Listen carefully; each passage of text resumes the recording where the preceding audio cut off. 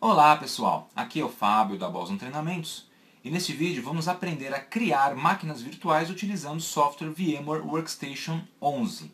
No vídeo passado nós aprendemos a fazer o download e instalar esse aplicativo no PC e agora eu vou mostrar como é que você usa o VMware Workstation 11 para criar uma máquina virtual. E para isso eu vou fazer a demonstração instalando um Linux Ubuntu aqui no meu PC. Bom, é isso. Então vamos lá para o procedimento de criação de máquinas virtuais no VMware Workstation.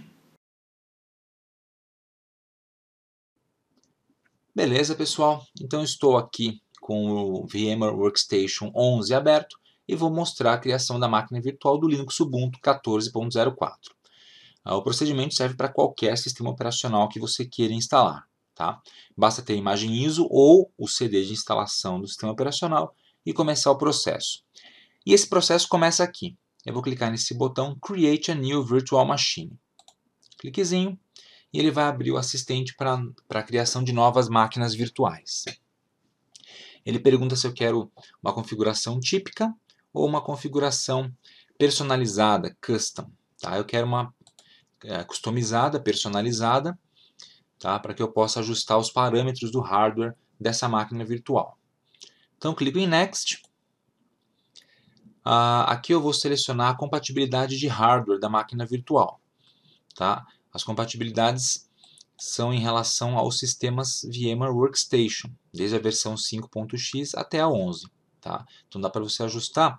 Cada vez que você seleciona um cara desses, ele mostra os produtos compatíveis e as limitações de uso. Na verdade, eu vou deixar o Workstation 11, tá? a versão mais recente, as limitações dele são 64 GB de memória, 16 processadores virtuais, 10 adaptadores de rede e 8 TB de HD para cada máquina virtual. Então vamos lá, clico em Next e aqui eu seleciono de onde eu vou instalar o meu sistema operacional. Pode ser por um CD ou DVD, uma imagem ISO, ou você pode até não instalar. Você pode marcar a opção em vou instalar o sistema operacional mais tarde. Aí só cria a máquina virtual e ela fica guardada aqui no VMware Workstation. No meu caso eu vou usar um, uma imagem ISO. Então eu vou marcar esse botãozinho, clico em Browse, Browse, beleza? E agora eu vou selecionar o meu ISO aqui. Vamos procurar, está aqui, Ubuntu 14.04, Desktop AMD64. Clique em abrir, tá aí, já estava antes na verdade, né? E olha só, ele diz assim, Ubuntu 64, 64 bits detectado. Este sistema operacional irá utilizar o Easy Install. Tá? O Easy Install, na verdade, eu não quero usar. Eu não quero uma instalação facilitada para o sistema, porque eu quero poder configurar ah, todos os parâmetros durante a instalação. País, idioma, fuso horário, esse tipo de coisas. Se você seleciona a opção Easy Install, ele instala a máquina sem te perguntar praticamente nada. A instalação realmente fica fácil Tá? Só que você acaba não alterando nenhum parâmetro padrão do instalador. Tá? Eu não gosto muito disso, eu prefiro ah, ter controle total sobre a instalação do sistema. Então eu vou mostrar como é que você evita isso já já. Clique em Next. Aí ele pede para você personalizar o Linux. Isso aqui é do Easy Install. Tá? Você precisa colocar, senão ele não habilita o botãozinho Next. Então vou colocar meu nome aqui. Beleza nome de usuário que eu utilizaria seria esse. E a minha senha, pode escrever qualquer coisa aqui, tá? Clico em Next. Nome da máquina virtual, tá como Ubuntu 64 bits. Eu vou escrever Ubuntu 14.04 64 bits, para diferenciar de uma outra Ubuntu que eu já tenho aqui. O local onde ele vai gravar é a pasta padrão, fica dentro de documentos, Virtual Machines, tá? Se quiser gravar em outro lugar, clique em Browse e mande ele armazenar essa máquina em outra pasta do seu computador. Clique em Next. Aqui a gente seleciona quantos processadores eu vou, eu vou alocar para essa máquina e quantos núcleos por processador. Tá? Aqui o meu computador tem quatro núcleos, né? é um i5. Então eu vou alocar dois núcleos para esse, esse computador virtual. E um processador só, porque eu só tenho uma CPU nesse computador. Tá? Então, dois núcleos, clique em Next. Memória RAM ele recomenda usar 1024, mas dá para eu subir um pouquinho. Eu vou colocar uns 1000 e 600 MB mais ou menos, ficar um pouquinho mais rápido. Clique em Next. Conexão de rede. Rede modo bridge, tá? Assim o sistema operacional virtual ele tem acesso direto à rede Ethernet externa, tá? Aí ele vai ter seu próprio IP address, seu próprio endereço IP. Clique em Next de novo. Tipo de controladora, uh, só está disponível SCSI agora, na versão anterior tinha o IDE ainda. Então eu vou, vou deixar a opção LSI Logic selecionada, é recomendada. Clique em Next. Posso escolher o tipo de disco virtual, pode ser IDE, SCSI ou SATA. Ele recomenda utilizar disco SCSI, mas aí tanto faz qual você vai utilizar nesse momento. Eu vou deixar o SCSI, clico em Next. Vou criar um novo disco virtual, eu não tenho nenhum disco existente para usar. Se eu tivesse, poderia marcar a segunda opção e reutilizar um disco que já foi configurado anteriormente. Tá? Ou até usar um disco físico. Tá? Você pode ter um disco, um HD específico físico na sua máquina e quer que a máquina virtual acesse diretamente esse disco. Tá?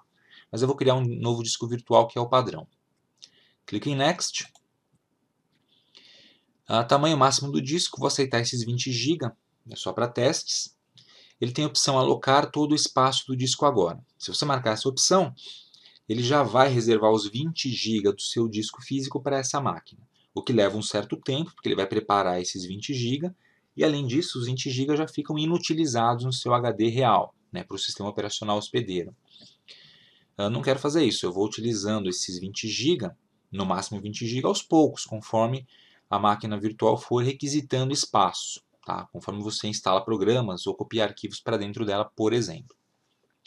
E aqui você tem as opções de armazenar o disco virtual como um único arquivo ou em múltiplos arquivos. Tá? Deixar em múltiplos arquivos facilita mover a máquina virtual para outro computador, porque você vai ter vários arquivos de tamanhos menores e não um só arquivo de tamanho gigante, por exemplo, um, um disco virtual com 10 GB de tamanho. Tá? Vou deixar essa opção, ela é interessante e vou clicar em Next outra vez. Aqui o local onde o disco virtual vai ser gravado, eu vou deixar no local padrão, e a extensão dele é VMDK. Tá? Clico em Next. Está quase pronto. Tá? Uh, você pode ainda clicar nesse botão Customize Hardware para personalizar um pouquinho mais o hardware da sua máquina. Por exemplo, colocar um, uma placa de rede extra, se você quiser, controladoras USB, mudar o número de processadores ou memória, enfim, você pode clicando no botão Add adicionar mais hardware a ela. Bom, eu não vou adicionar mais nada, vou dar um close, só que eu também não vou ligar a máquina virtual direto. Então eu vou desmarcar essa opção Power on this virtual machine after creation. Vou desmarcar porque eu não quero que ele ligue a máquina automaticamente. Lembra que ela está configurada no modo Easy Install. Então desmarco essa opção, clico em Finish aguardo um pouquinho e a máquina virtual está aqui criada. Tá? Agora eu vou desabilitar o modo Easy Install para ela. Como é que eu faço isso?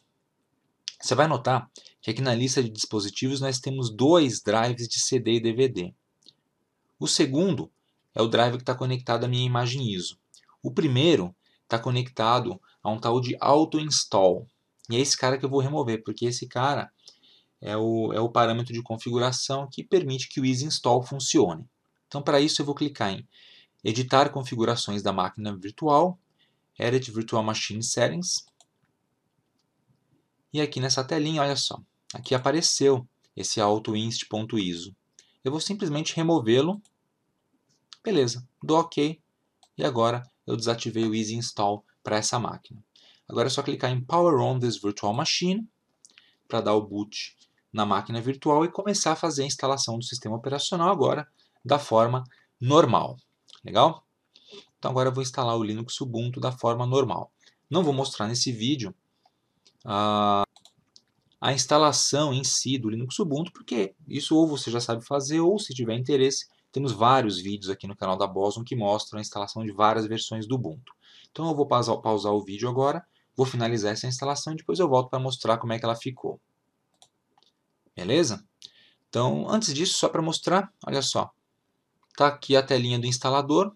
Aqui não apareceria se a gente tivesse deixado no modo Easy Install, já teria ido direto à instalação automaticamente. Então agora, com a instalação no modo normal, eu consigo eu mesmo gerenciar essa instalação. Tá? Coloco aqui no português do Brasil, mando instalar o Ubuntu e aí é pau na máquina.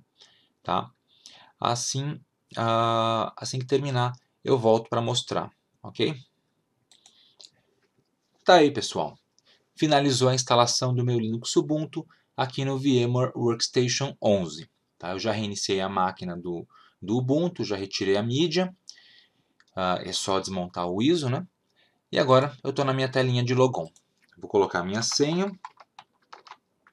Enter. E aí, o sistema está instalado e funcionando perfeitamente. Legal? Então é isso aí. Aprendemos a instalar uma máquina virtual utilizando o VMware Workstation, que você pode utilizar para fazer estudo de sistemas operacionais ou aplicativos, demonstrações do uso de softwares, testes de software e muitas outras coisas interessantes.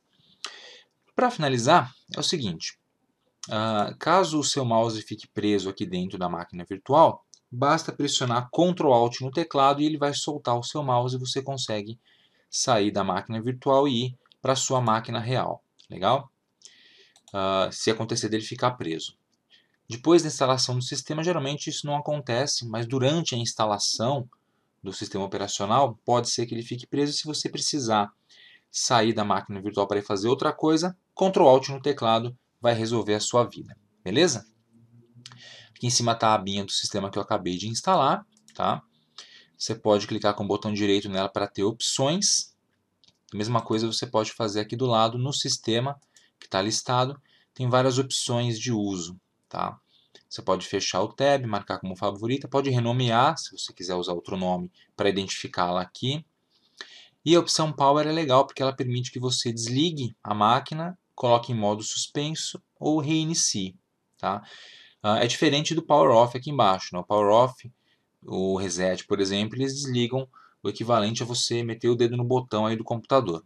Esse shutdown aqui não, ele manda um sinal de desligamento para a máquina e ela desliga de forma suave. Tá? A mesma coisa suspende e restart. Beleza? E tem algumas outras opções aqui, por exemplo, quero mandar o Ctrl Alt Del para dentro da máquina.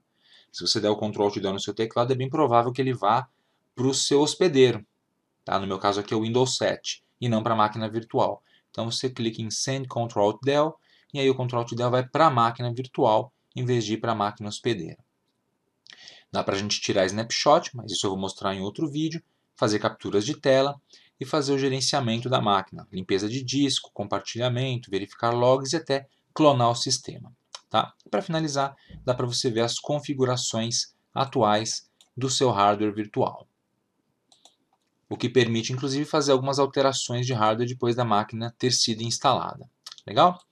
Bom, a gente vai ver mais, mais opções do VMware Workstation nos próximos vídeos dessa série. Uh, espero que você tenha conseguido instalar o seu sistema aí sem problemas. Espero que tenha gostado também desse vídeo. Tá? Uh, aproveite para se inscrever aqui no canal da Boson Treinamentos e também para visitar o nosso website www.bosontreinamentos.com.br, onde você pode pegar esse e muitos outros tutoriais na forma de artigos escritos para você seguir passo a passo. Obrigado e até a próxima.